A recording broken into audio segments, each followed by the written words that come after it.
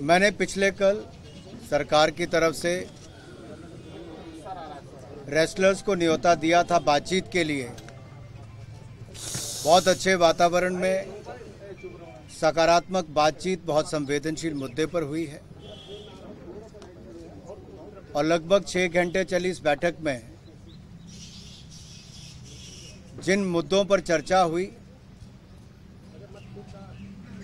उसमें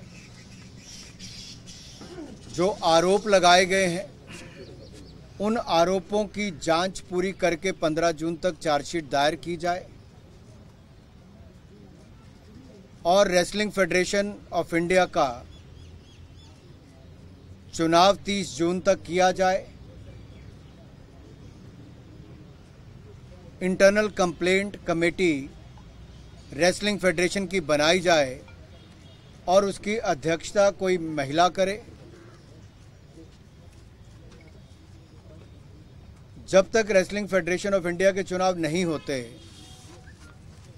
तब तक आईयूए की अडॉक कमेटी पर दो कोचेस का नाम प्रस्तावित किया गया है। उसका, क्योंकि टेक्निकल टेक्निकल भी उसमें दिक्कतें बहुत आती इसलिए सुझाव दिए गए हैं कि दो कोचेस को उसके ऊपर रखा जाए उस कमेटी में।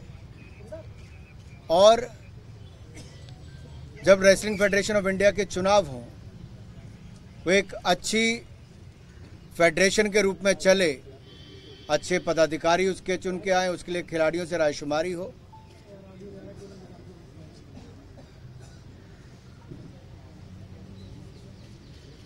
निवर्तमान अध्यक्ष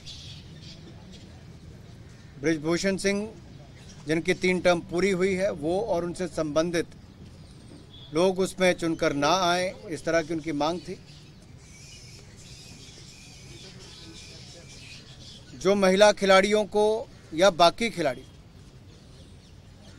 आवश्यकता अनुसार सिक्योरिटी उनको मिले।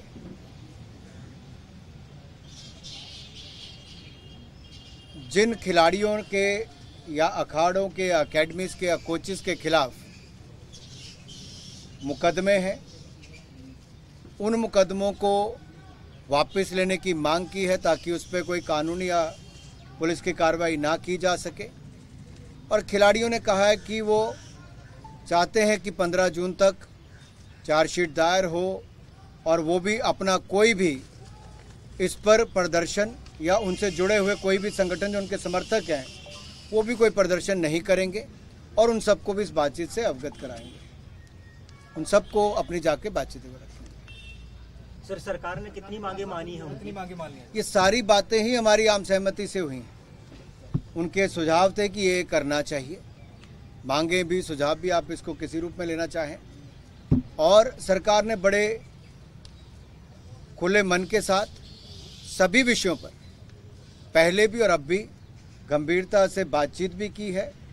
और इन बातों पर क्योंकि अभी सभी प्लेयर्स ने भी और कोचेस भी जो आए थे और उनके साथ जो बाकी सदस्य आए थे उन्होंने बहुत पॉजिटिव बातचीत की है और वापस जाकर भी वो अपने समर्थकों के साथ इस बात को रखें। जब तक की अभी डिमांड है वो आप लोग का कर बना ली है हुआ सर। एक 15 बहुत जून तक- के अरेस्ट का बना है। पंद्रह पंद्रह पंद्रह जून तक चार्जशीट दायर यानी कि जाँच पूर्ण करके चार्जशीट दायर करने की बात कही है करेंगे।